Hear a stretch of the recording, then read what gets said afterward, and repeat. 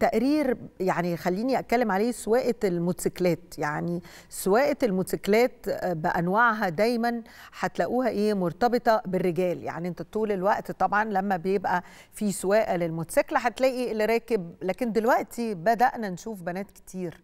يعني أنا شخصيا وأنا سايقة وأبقى شايفة بنات كتير والحقيقة بيعافروا يعني عارف اللي هو وسط العربيات لا في معافرة وبيحاولوا إن هم يبقوا موجودين. لأنه الموتوسيكل في حد ذاته سريع سهل وسيلة تنقل ممكن البنت تستعملها تمام. فبقينا نشوف ده بشكل كبير وخلينا نشوف معاكم في التقرير ده أول شابة بتتعلم قيادة الدراجات البخارية. هي بتعلمها بتعلم الناس إزاي يسوقوا الدراجة البخارية لأن هي لقت إنه في قبول. يعني ممكن بالذات البنات في الجامعة البنات اللي بيشتغلوا كتير حاسين إنها ممكن تساعدهم وتبقى وسيلة سريعة جدا للقيادة. نشوف إزاي هي بتعلمهم نشوف التقرير ونرجع نكمل معاكم المباراة وباقي فقرات التاسعة.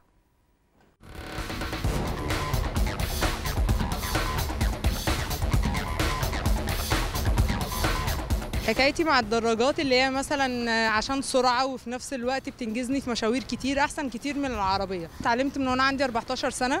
وسوقت مثلا سي برضو من 14 سنة. حبيت بس السرعة والهوا ويعني إيه ركبت موتوسيكل ويعني إيه مثلا الشكل الحلو. كانوا بيستغربوا.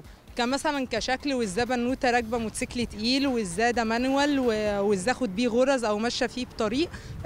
استغراب بس مش أكتر. بالعكس يعني بيشجعوني يعني already العوامل الأساسية مثلا لو أنا هركب موتوسيكل طبعا الخوذة.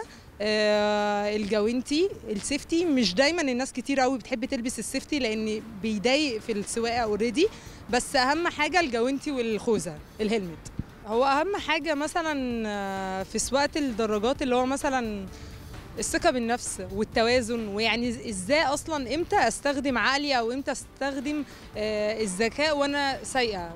أكتر ناس بتطلب التعليم معايا الولاد بصراحة. البنات قليل قوي عشان الموتوسيكل بيبقى تقيل بالنسبة لهم. لأن أنا بدرب كروز ما بدربش مثلا racing كتير. فدايما بيستثقلوا قوي ال bike ده. في طبعا غير ال scooters طبعا اللي هو automatic already في زي ال Shadow وفي زي ال race اللي هو مثلا ال 600 في حاجات مناسبة بس للأسف الطول البنت هو اللي بيفرق شوية مش أكتر. أحب جدا جدا إن البنت تبقى عندها ثقة في نفسها وتركب bike ما تستخدمش مثلا اللي هو تاخد كلام الناس إن هي مثلا تزعل لا انت راج... انت بنوتة راكبة bike لا ما ينفعش. عيب مش مجتمعنا لا بالعكس. في بنات محجبة راكبة سكوتر وفي بنات عادي زي مثلا بشعر وبتركب موتوسيكلات وكل الكلام ده. تاخدش من كلام الناس وخلي ثقة بنفسك وإن شاء الله توصل لاكتر من اللي أنا وصلت له بإذن الله يعني.